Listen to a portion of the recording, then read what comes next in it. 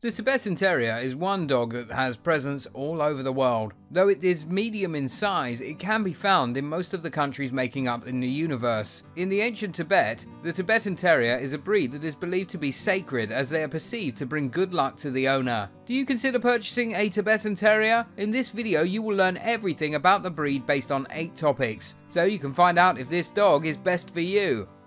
Number 1. Origin this breed of dogs originated from a group of founder animals which are smaller in number, which is imported from the border region spanning between Tibet and India, central Himalaya. This was at the beginning of the 20th century. The breed was developed by Tibetan monks and serves the purpose of the monastery sentries and sheep herders to the monks. In the history of the breed, two lineages were established in the western countries. The first and older lineage is the Lamleh lineage. The lineage history had it traced back to the first two animals, Bunti and Raja, and these two were acquired by Dr. Agnes Greig in 1922, and they were brought to England in 1930. The second lineage is the Luneville lineage. This lineage was founded by John Downey in Liverpool in 1953, and it was formed through a process by mating Dusky and a stray dog. The dogs were later registered as Tibetan Terriers and named Trojan Kynos and the female as Princess Aureus. Number 2. Personality the Tibetan Terrier is very amiable and affectionate dog. It is a very good family dog which is sensitive to its owners. The Tibetan Terrier has a very good temperament which makes it to be loving, gentle and loyal. These characteristics make him a desirable family pet. It is a very intelligent dog, clever and with the intent of determination. When left alone for too long, the Tibetan Terrier can suffer from separation anxiety. The Tibetan Terrier is not aggressive towards strangers. This makes it a suitable breed as a watchdog, but it is characterized with acting reservedly around people he does not know. The breed is not a good guard dog, but if left unattended too, the sensitive part of its nature can grow into lack of courage, or it can make it be excessively suspicious of everyone that comes across it. Through grooming, the bond of relationship between the Tibetan Terrier and the owner becomes strengthened.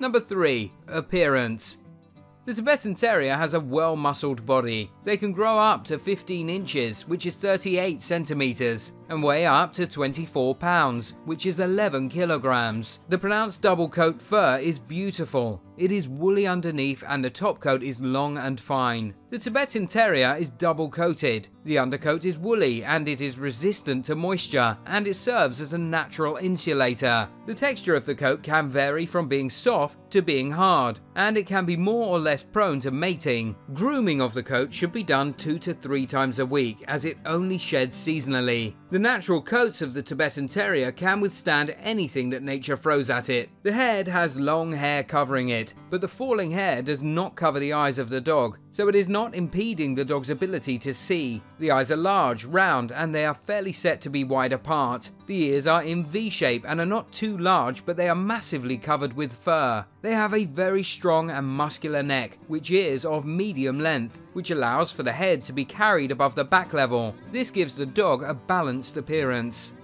Number 4. Trainability the dog's breed is easy to train, with a great tendency to bark and howl. They're also in need of positive reinforcement if the owner wants the training to be effective. The required techniques are praise, play, and food rewards. As part of the techniques needed, training must be consistent and fun to them because they can sometimes have their own agenda. To effectively cater for them, as part of their training, they must be allowed to get used to brushing and examination of furs when they are puppies. If they're not accustomed to this since infancy, to get them to do it at maturity can be very challenging.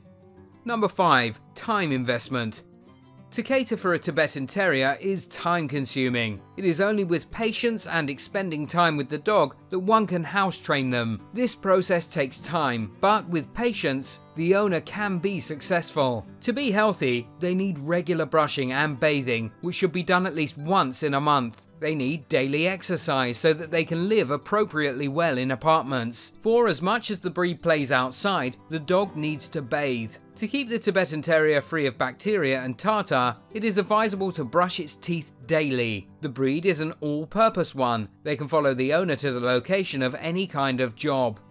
Number 6. Best Home The best home to a Tibetan Terrier is a home that is well fenced and secured so that they can have space to play. The dog is one of the most suitable breeds for kids as they are known to be playful, energetic and affectionate towards children. It is not advisable that they are left outside for long periods though, but they are breeds that can adapt to any variety of homes and household. They are to live indoors and not at the backyard or kennel. If the home or environment where the Tibetan Terrier lives in is boring, they have the tendency to be barking and channel a route of escape. They are perfectly capable of jumping or climbing the fence. They can as well dig a hole under the fence to perfect their escape.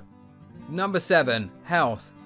The Tibetan Terrier, like every other dog, has its own health challenges. They suffer from a variety of ailments that can affect their agility and actions. Some of the ailments they suffer from include progressive retinal atrophy, which degenerates the eye order and it can lead to blindness eventually lens luxation, which is a disorder the dog inherits that occurs when the lens is not properly positioned in the eye of the dog, and hip dysplasia, which is a health challenge in which the femur does not fit into the pelvic socket of the hip joint snugly. The average life expectancy is between 15 and 16 years.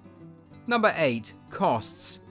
Based on the findings from the AKC marketplace, to own a Tibetan Terrier, it will cost between $1,800 and $2,500. Other ancillary costs include certification and registration, which range from $38 to $45. Transportation costs for airlines is between $125 and $200. To train the dog, it will cost between $150 and $175. When taking the dog to the veterinary, cost of getting a checkup can range between $35 and $50.